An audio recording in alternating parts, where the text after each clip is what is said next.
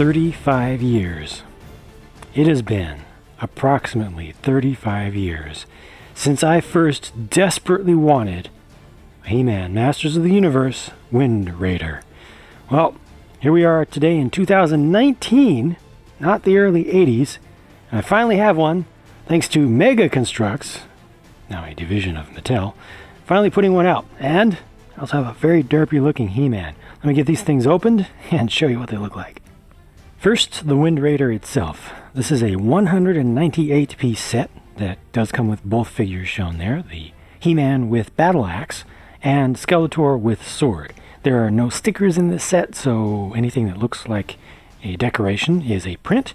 And unfortunately, the bags were not numbered. Now, it's not such of a big deal in a small set like this, but it is strange for me after celebrating wildly the introduction of numbered bags to Mega uh, that uh, well, we seem to have lost them. Ah, this is just so glorious. So, so glorious to actually have this. Although, it's not hitting all of the nostalgia buttons for me because this is actually better scaled to the the depiction in the cartoons than it is to the toy and the original toy and I guess my mind's eye expects the toy proportions more. Is funny how that works. But yeah, this is this is pretty proper with the ridiculously bright yellow colors used for all of the control surfaces of the thing. He-Man fits right in there and is able to hold on to the controls. He's got a little heads-up display which does not have any print on it, but you see that there are plenty of prints all around this thing. It went together just fine. Uh, some marbling for the the color of the, the flame coming out the exhausts there, which is pretty good. Uh, let's see, this can be turned side to side. You can't change the angles of the elevators. You can rotate these if you want up and down a bit. You can also turn the, you have to pull this out to independently change the angle of the, the edge of the, the feathers there. And it has the working winch up front with the anchor. I almost I almost completely forgot that they used an anchor. That's such a funny thing. But you know, combination of future and medieval, but this this actually does work. Uh, there we go. Winds out like so, and winds right back in, just like the original did. Uh, I think the original had a had a ratchet, if I recall correctly. This one does not. Doesn't uh, doesn't stay at that finished position, but I think I remember the original not always wanting to stay at the centered position all the same. Huh.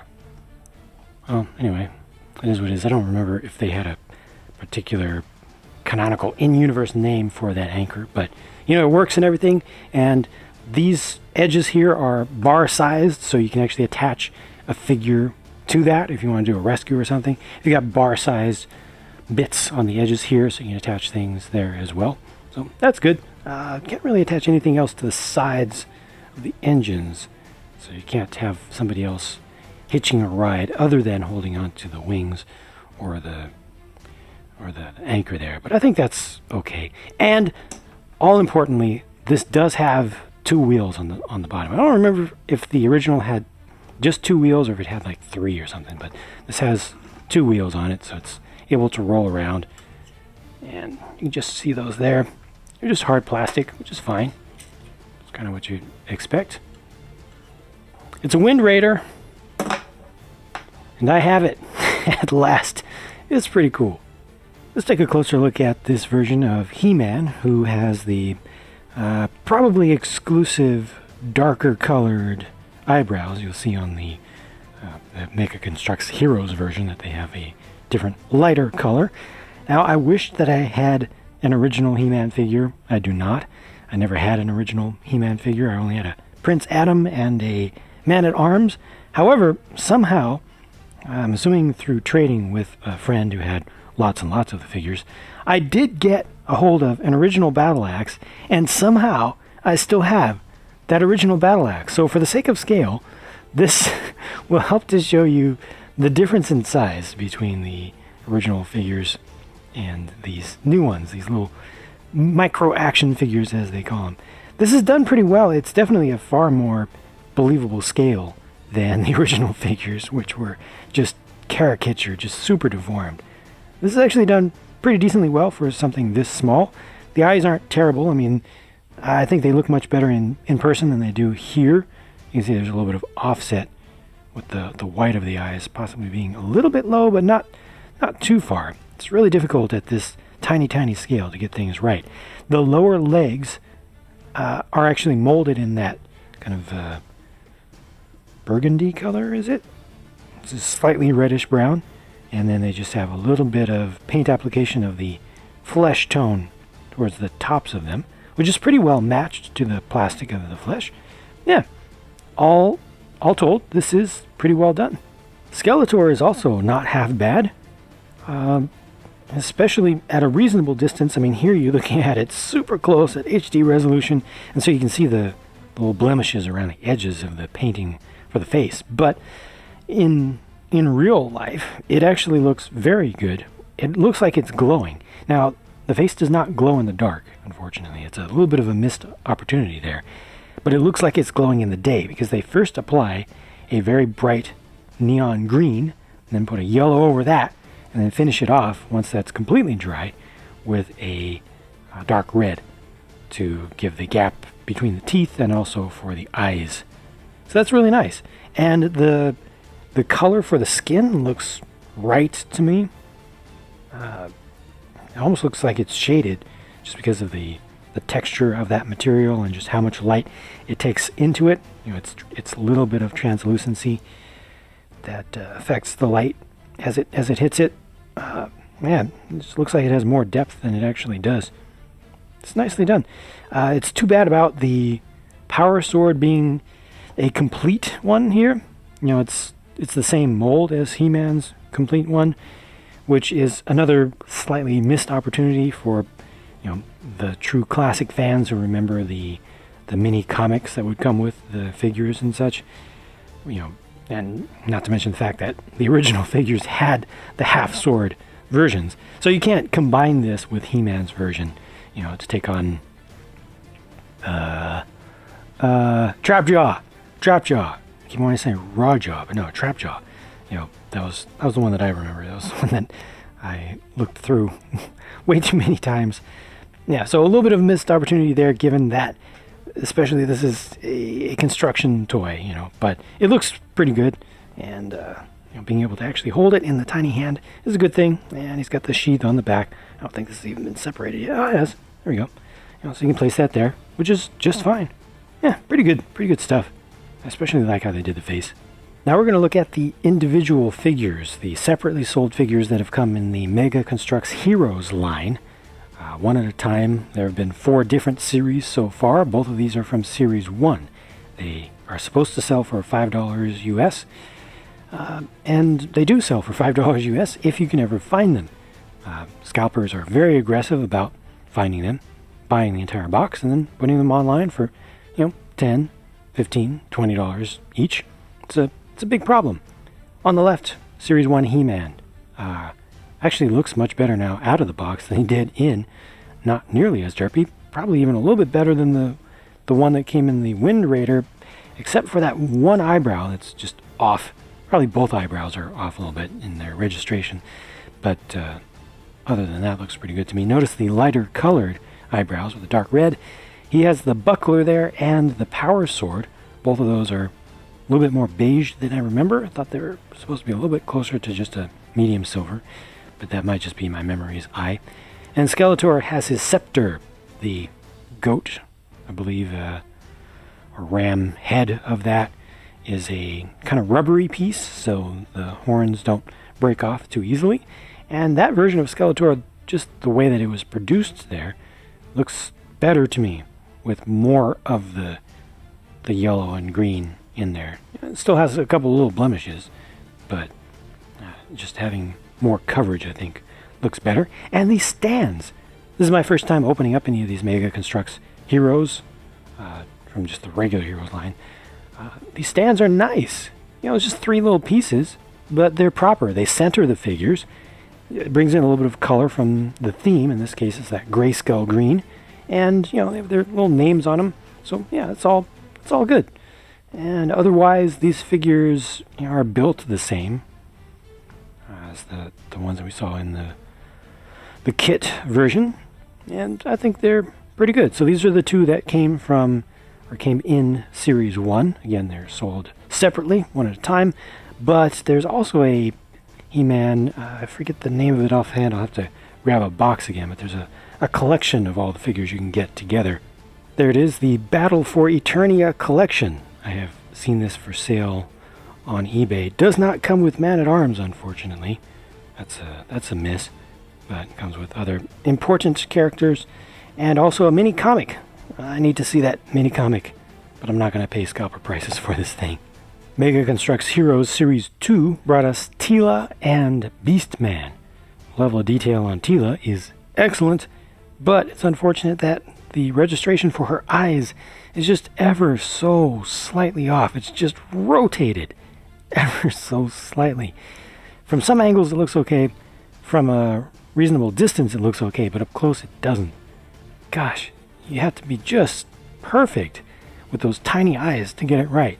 It's, it's too bad with such fine printing that they used.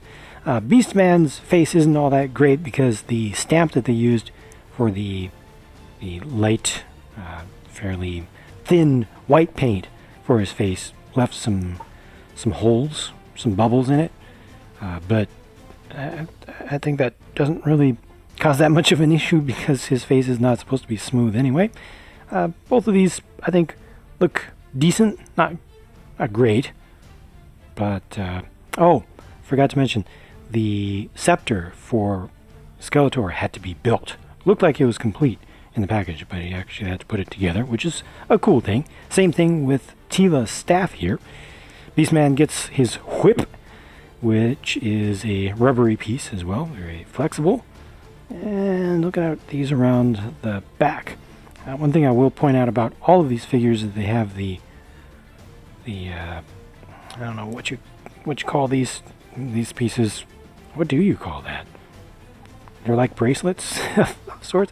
They're not bracers, but those pieces that are that are little clip-ons, uh, they can pop off pretty easily. So actually, if you play with these, those are things to look out for. You don't want to lose those, even if you're just posing it carefully you still want to watch out for that. You can definitely see some difference in the colors between the flesh tone of the plastic for Teela and the painted on parts as you can see in the arms, the torso there on the back, and also the lower legs have that paint that's used. So that's not quite as well matched as I ideally would like. But that's it for those two. Series 3 included only Faker as a representative from the Masters of the Universe theme. Fortunately, this figure is very well done. I never understood Faker when I was a, when I was a kid, so this was always a very mysterious character to me, very mysterious figure, especially. But I just think this is so well done. And fortunately, the printing for this one on the face is really good. Maybe maybe the eyebrows are off the tiniest fraction, but come on, at that scale, come on. Yeah, this looks really, really good to me. And they even printed the chest there. You can see the the reel to reel that's spin around in there. That's nice to see. I mean, you know, it shows up a little bit, but that's pretty cool. And it comes with you know both weapons. Again, the the body armor bit, the vest bit, has the sheath in the back, so you can place his version of sword back there. Yeah, this is really well done for, you know, especially for a series that only got one of these figures. This was a good choice, desirable for collection. I, I at least I got lucky for uh, the printing on this one. The production value is is pretty close to spot on. And finally, Series 4 of Mega Construx Heroes is the most important of all, for it includes Man at Arms and Evil Lyn, but Man at Arms that's very, very important to me because the very first toy I ever bought in my life with my own money, in fact, probably the first thing that I ever bought of any sort with my own money, was a Man at Arms figure. I got my, what was it, $2.50, $3, something, something like that, of combined allowance and extra money from doing extra chores saved up over the course of weeks and went to the toy store hoping to get a He-Man and they were fresh out of He-Mans. So I settled for a Man-at-Arms. And it didn't have a mustache.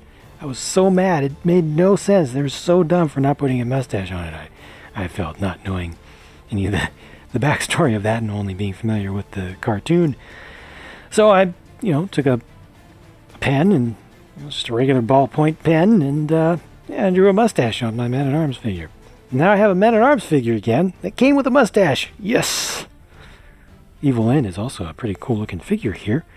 Uh, registration for the eyes on this one is almost perfect. The print is very good there.